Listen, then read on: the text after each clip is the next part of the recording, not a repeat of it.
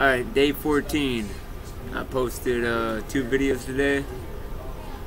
Talked about the bookmarks.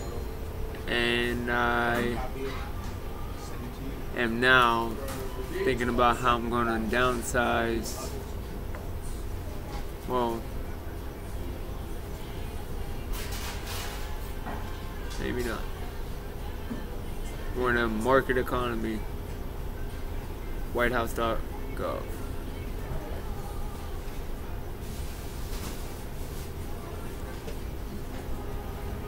there's a thing about throwing things out and then knowing your words.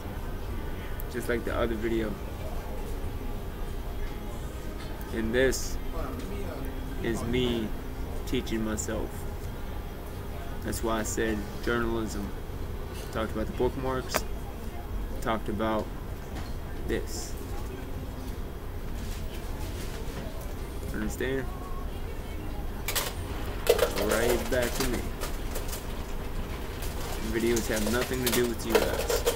Just like the White House videos has nothing to do with the, you know, average person. It's about running every state, running the economy, running the White House.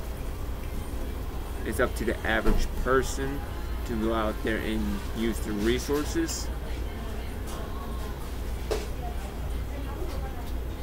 Same applies. I'm gonna call this video imprint.